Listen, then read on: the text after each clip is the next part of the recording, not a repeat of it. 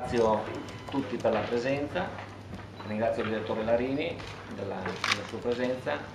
Dunque, allora, come ha detto il Presidente Soldati, questi sono i primi quattro ragazzi nuovi acquisti per la prossima stagione.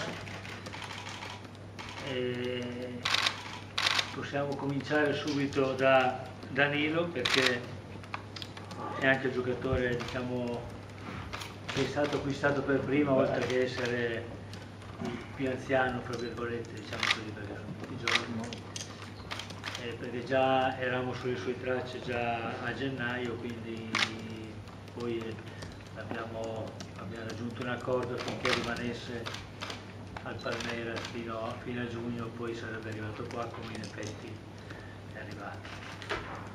È un difensore centrale, quindi un giocatore che ha già maturato una certa esperienza, perché come avete visto anche già dal, dal suo curriculum ha già 5-6 anni di, di- di attività, 6-7 anni cioè, di attività eh, nella Serie A brasiliana. Venuto intanto. Eh, beh, domanda prima tecnica, ti definisci più un giocatore adatto alla difesa 4 o alla difesa 3?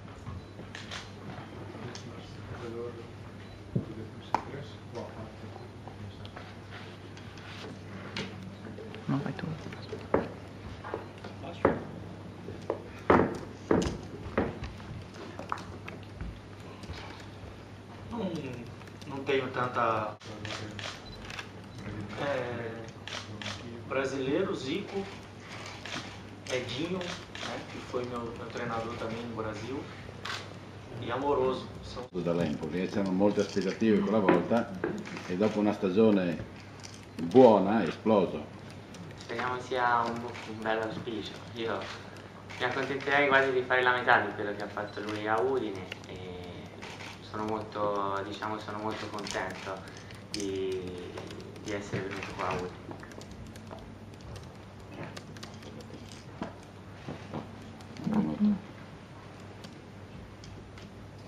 Lei considera Udine un trampolino di lancio importante?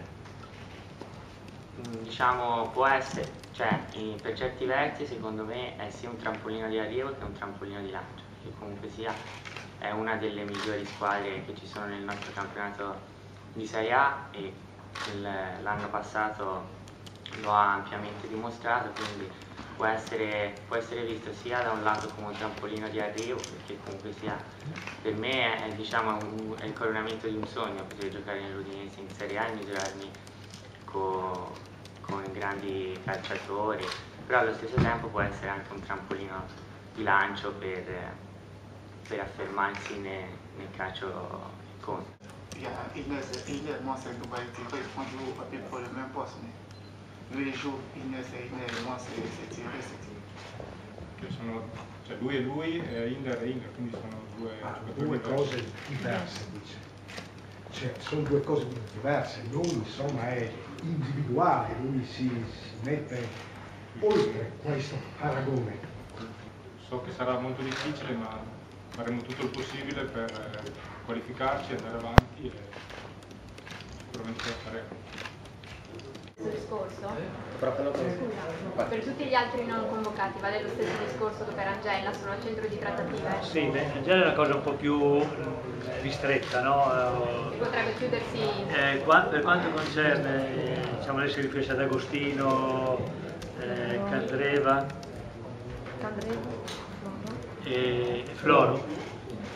E Floro abbiamo, abbiamo optato di non far far loro questi test qua di, di preparazione perché anche loro, eh, essendo in una situazione particolare che si andrà, vediamo se si andrà o meno a definire entro questa settimana, altrimenti dal ritiro vero e proprio partiranno anche loro, se non, saranno, se non, hanno- se non sarà trovata una sistemazione diversa.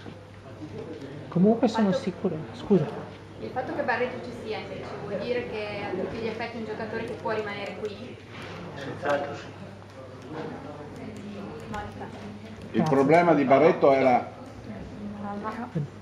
solo una veloce, direttore, ma il, mh, mm, avete già parlato con il tecnico sulla questione magari di D'Agostino che potrebbe risultare utile se riesce a riappacificarsi dopo quanto era accaduto due anni fa? Io penso che tutte le cose che facciamo vengono analizzate anche, anche con eh, il tecnico, eh. quindi è inevitabile che ogni cosa comunque viene, viene considerata e esaminata assieme anche all'allenatore. No, mm, ritorno su Barretto, è vero che è stato riscattato, è vero che si sta allenando, è vero che c'è la voglia di farlo eh, rimanere qui, però c'è un problema, un problemino, non di poco conto, l'ingaggio. Eh, lui a Bari aveva 950 mila euro garantiti, a Udine ne aveva 500 mila. Non sarà facile trattenerlo. No, perché c'è un contratto, comunque c'è un contratto tra le parti, quindi che lui poi altrove avesse un contratto superiore è buono per lui, non è che il Bari una società ha più possibilità di pagare dell'Udinese, però non è questo, non può essere questo il problema, perché ci sono dei, dei contratti a cui sono legati i giocatori, direi che poi tra parentesi anche tutti i contratti si possono anche, parlare, eh, si possono anche modificare, discutere, quindi se eventualmente sorgessero dei problemi in questo senso, però non direi che eh, non identificherei problema principale nel contratto, perché il contratto eh, esiste. Per opportuna conoscenza è arrivato Bentia. Prima cioè, dell'appello. Si dice che siano... Scusate. Cosa si dice che? Si dice che... Si dice. Si dice che siano le ore decisive per Sanchez, che si chiude entro poco, è vero? Ah, quante volte abbiamo sentito questa, questa frase, quindi aspettiamo, vediamo, quindi quando è uscita un'ansa per quello, è uscita un'ansa spagnola un'ora fa, infatti glielo dicevo prima, dove si diceva appunto che ma assolutamente non è... Sì, ma comunque insomma sono già uscite tante volte notizie di questo genere, non è che stiamo a commentare ogni, ogni si dice, altrimenti... Comunque non è vero. Mai. Non è vero. Non è vero. Che è stato chiuso? No, non è vero. Ma che sta per chiudersi. Non lo so. A, a, a, fino a un'ora, due ore fa non mi risultava. Il discorso Ingler che mi sembra più... Cioè Ingler non è stato convocato, Ingler voi avete già raggiunto l'accordo con il Napoli, almeno stante a quello che ha detto Giampaolo Pozzo, ancora un mese e mezzo fa, inutile parlare di cifre ma è una cifra importante. Il Napoli sta attendendo Ingler, l'Udinese ha dato la parola al Napoli e c'è una firma col Napoli. Ho sentito dire che ci sono degli sviluppi in positivo che dovrebbero portare Inler già in pochi giorni e comunque entro la settimana al club partenopeo. È così? Noi non abbiamo convocato Inler innanzitutto per due motivi. Il primo motivo è che comunque Inler avrebbe avuto qualche giorno in più rispetto agli altri perché è stato impegnato qualche giorno in più degli altri con le, con le nazionali. Eh, secondariamente c'è la sua situazione che sappiamo tutti dove lui è al centro di una trattativa importante ormai da tanto tempo. Quindi abbiamo preferito comunque in ogni caso dargli il tempo anche ancora questa settimana di eh, risolvere eventualmente il suo problema con il Napoli, perché il problema, come ha detto lei, fra Udinese e Napoli è già risolto, si tratta solamente di risolvere il problema contrattuale. Se lo risolve questa settimana, bene, altrimenti anche lui, quando la squadra è in ritiro, si presenterà in ritiro con tutti gli altri, quindi eh, cadrà e finirà anche probabilmente il discorso.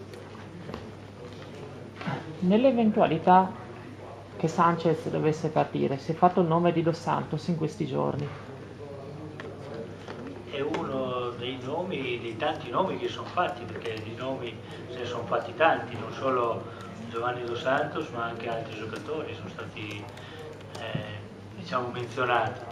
Quindi è logico che uno di quei giocatori che è stato visto, visionato come vengono visionati tantissimi altri, quindi non possiamo dire che comunque è in una posizione privilegiata rispetto ad altri. C'è una trattativa per Ramirez? Scusa, per il microfono. Cioè esiste una trattativa per Ramirez, quello del Bologna? Ramirez è un giocatore giovane con una, dal mio punto di vista una potenzialità importante, però mi pare di capire che la valutazione del Bologna sia una valutazione che vada un po' oltre quello che può essere il, il, il reale valore del calciatore, soprattutto che non, di, non rientra nei parametri dell'Udinese, se la valutazione rimane quella. È innegabile che la presa comunque delle buste di riavere D'Agostino ha posto la società in una posizione un attimino problematica anche nella gestione di questo giocatore visto i precedenti. In questo momento con quali società state parlando? ci sono due o tre club che possono essere interessati ad Agostino perché Agostino eh, non è vero che è problematica la, la, nostra posizione perché Agostino è un giocatore importante con delle ottime qualità, quindi eh, già sono squadre che, che lo richiedono, che manifestano interesse nei suoi confronti. Non pensiamo assolutamente quindi che De Agostino possa, essere, possa rappresentare un problema per l'Udinese.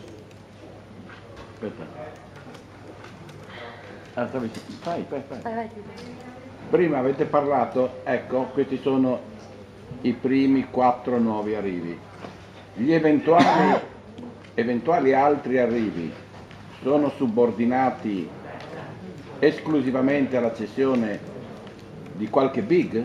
Oppure potrebbero eh, arrivare dei giovani al di là che vadano via Ingler, Sanchez oppure anche Zapata perché anche quello sul è sul mercato. No, altri arrivi non sono obbligatoriamente legati alla partenza dei, quelli che lei chiama i cosiddetti big, cioè Sanchez, Hitler eventualmente Zapata. L'Udinese prosegue sua, nel suo programma, nella sua filosofia e quindi probabilmente arriverà qualche altro giocatore che è in linea con eh, queste caratteristiche, quindi arriverà qualcuno che non ha nulla a che vedere con questi altri che partiranno.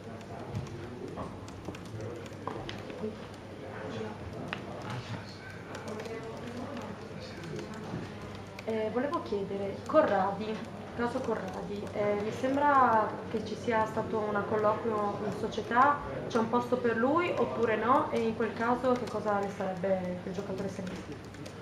Ma Corradi da quello che mi risulta eh, sta pensando ancora se continuare a giocare o meno.